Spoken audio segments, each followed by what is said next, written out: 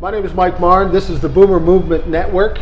Uh, this is a program where we're going to talk to people that maybe impact those of us that are baby boomers, people that influenced our lives or entertained us or what have you. And I have sitting here with me Monte Moir. If you don't know the name, you will know who he is because he's in the group The Time from the whole Minneapolis Sound era, uh, the Prince era, and that sort of thing. The thing about Monte is that I've known Monte a lot longer than when he was in the time or from that whole era because Monte lived across the street from me. And I got to be honest with you, Monte, all that time you lived across the street from me, I had no idea that you even played an instrument, let alone in a band. You were so quiet about this stuff. What was going on when you were across the street and we were building snow forts and stuff? You know, probably when I met you, when when we lived across the street, I was probably in my hockey mode, so I probably wasn't playing too much music at the time. But I always played, but it was, it was more. Tell me how it started that you got into music. I started in junior high. We had a little neighborhood band. Started out playing guitar, took some guitar lessons. My folks got me a guitar. And we started a little neighborhood band. Played for a couple of years.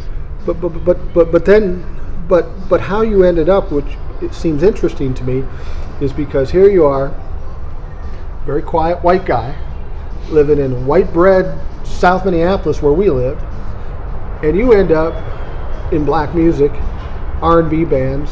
How, how, did, how did you make that transition from playing the little, little little band that you were into, all of a sudden being in the midst of a whole different world? Well, it became when I was in college. Uh, a couple of buddies of mine, David Eiland, Tom Lund, used to play at one time or another in a band called Flyte Tyme, which I think a lot of people have probably heard of. Local band.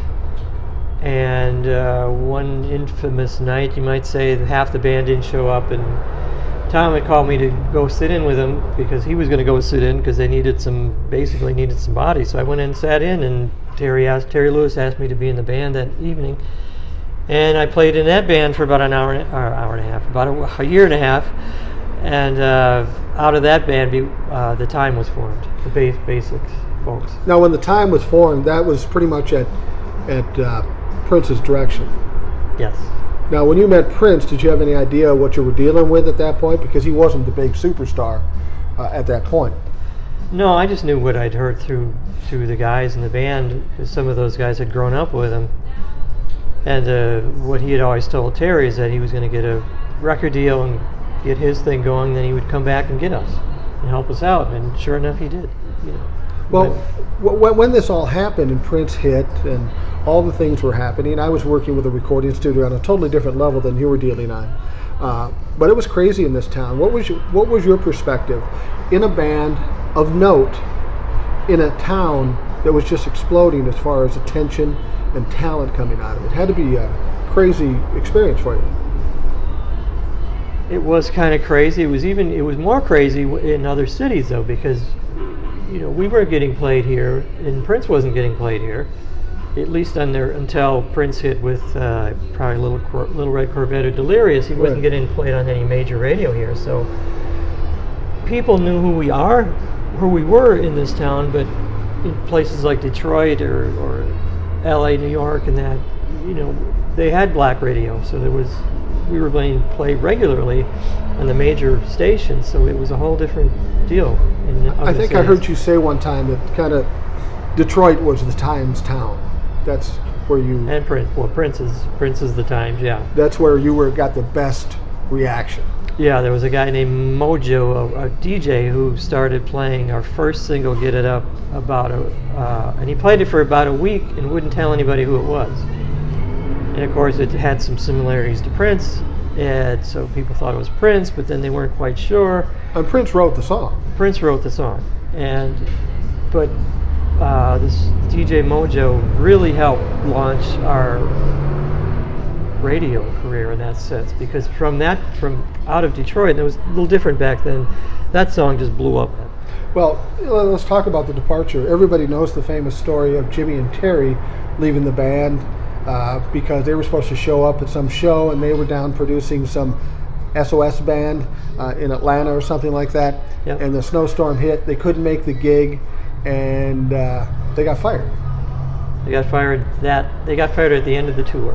This was Okay. about in I'm gonna guess February. This happened roughly, and I think we were done by April, May, something like that. And as soon as the tour was over, they got. So when Terry, Terry and Jimmy left, you left too at that time, or did you wait a while? Uh, I left about a month after they left, and it was a, I, I, I, they had, I think I had gone to one of the rehearsals for Purple Rain, and I left after that.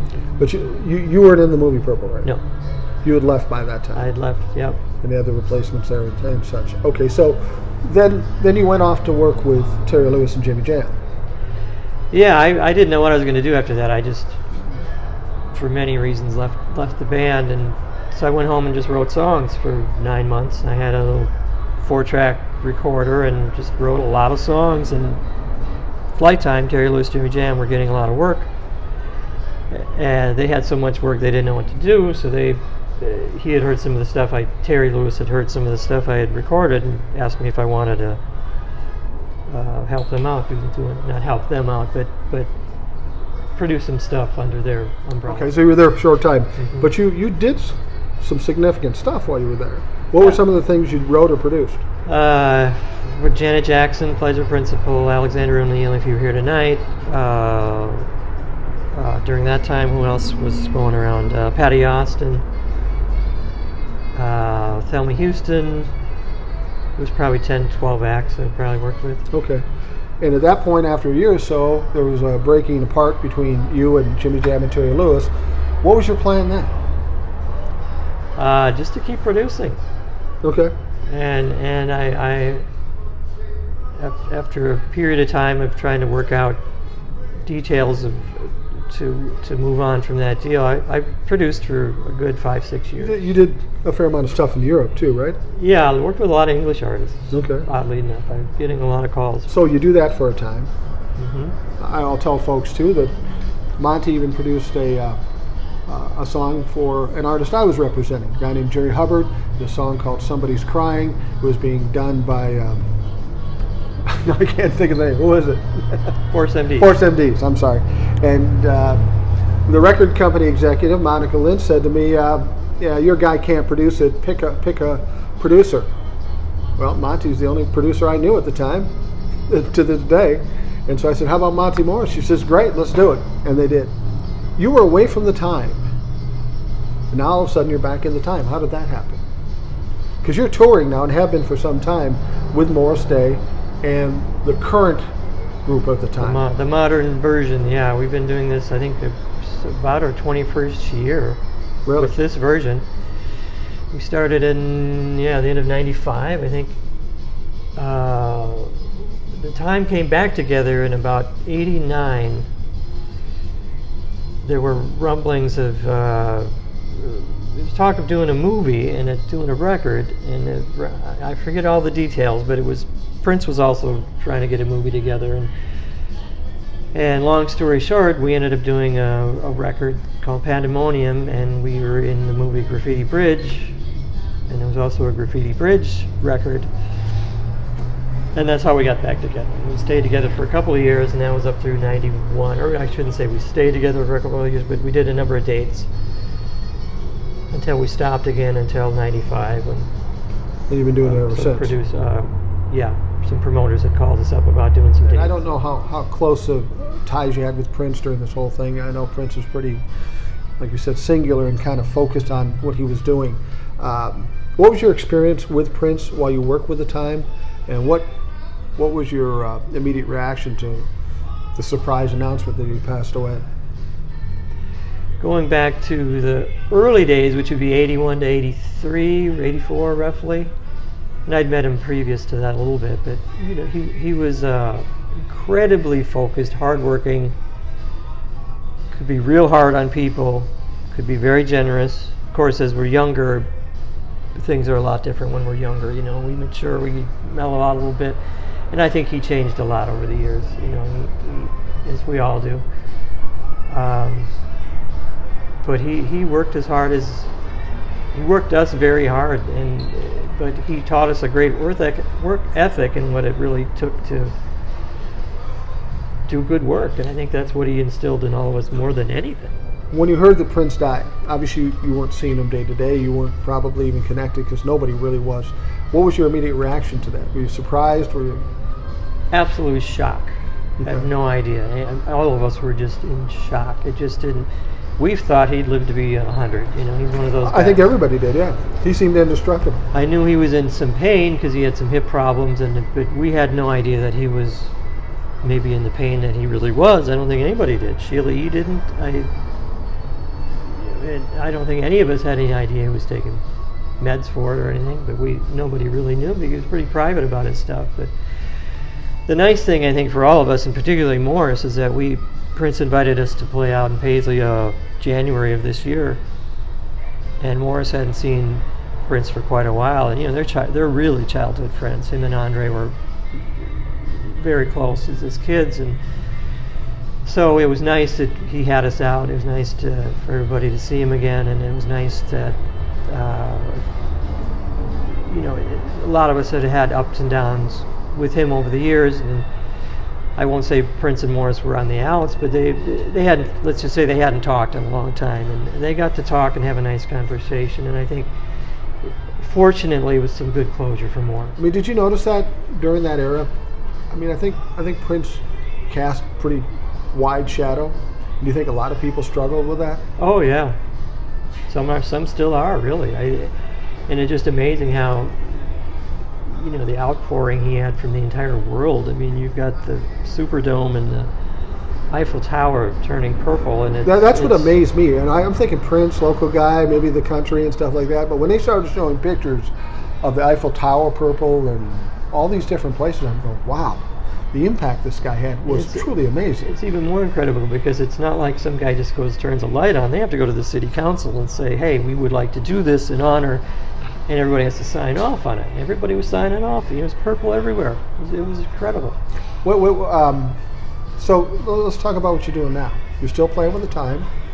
Yep. You're headed off tomorrow to another gig in Sacramento or wherever it is. hmm Is that pretty much the the plan for the near future, at least, for you to continue doing what you're doing with uh, the time?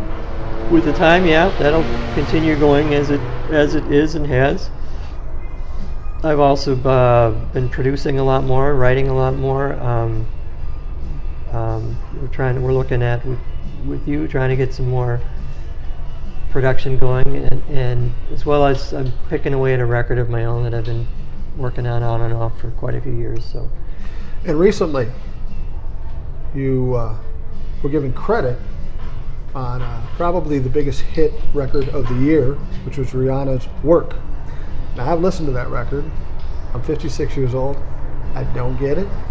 But it doesn't matter. It sold millions and millions of, uh, of well, I can't even see records, downloads, CDs, whatever they're selling now. yeah. What was your reaction to that, that, that whole thing when you found out that, that you were going to be included as a and given credit on this record? And tell me how, how it came about actually. Yeah, they they uh, they actually took a uh, musical elements from a song I wrote 30 years ago, Alexander O'Neal. If you were here tonight, and so they gave me a credit, and they call it music interpolation. So I, I wasn't actually an active writer on that song, but I I, I, don't do- know if anybody was. I mean, there's 19 of them. yeah, right.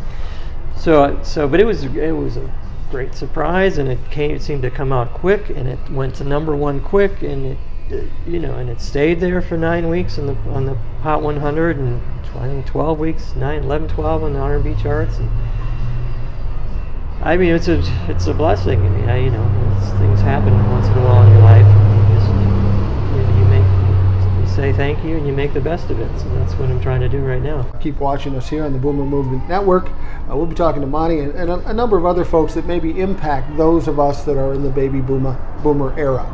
So thanks for watching. We'll talk to you again real soon.